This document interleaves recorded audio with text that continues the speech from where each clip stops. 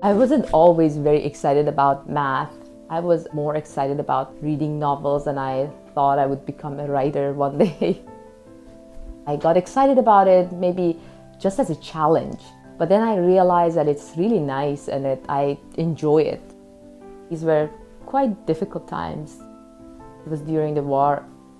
Right after the war, I had a lot of opportunities. I went to a very good middle school and then high school.